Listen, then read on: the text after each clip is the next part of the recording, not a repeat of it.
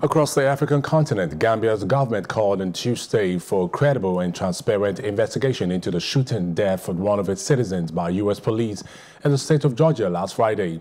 The Georgia Bureau of Investigation, the GBI, said in a statement on Friday that it had been asked by the police department in the town of Snellville to investigate an officer involved in the shooting of a driver following a car chase.